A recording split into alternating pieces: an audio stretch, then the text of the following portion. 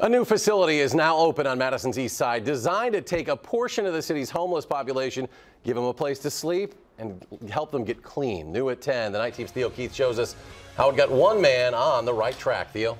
Eric, there is a lot of talk in this town, has been for years, about helping the homeless. This new building is walking the walk.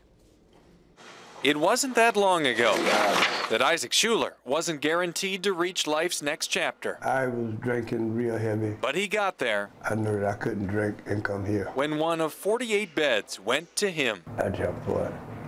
I haven't looked back since. Schuler was homeless in Madison for five years. I've been out on the streets so long that I almost wanted to give up, but I didn't. About 10 months ago, he came to Porchlight's Safe Haven program. He got a place to stay and to get sober. I've been down so low, I couldn't go no lower. All I could do was come up.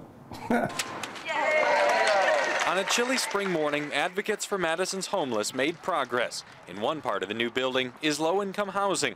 The rest of the units help people with addictions or mental illness, two top causes of being out on the streets. This is a great moment for the community of Madison in terms of the battle to reduce homelessness in Dane County. It is just a start. Some estimate that 400 people don't have a place to stay in Madison on any given night.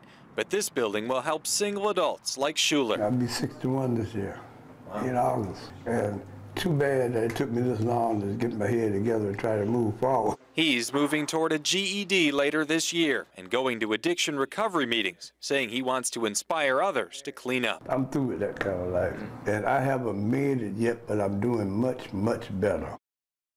Private donations paid for most of the project's $4 million cost, Eric. And we appreciate Mr. Schuler sharing that story with us. Great rebound. Theo, thank you. Yeah.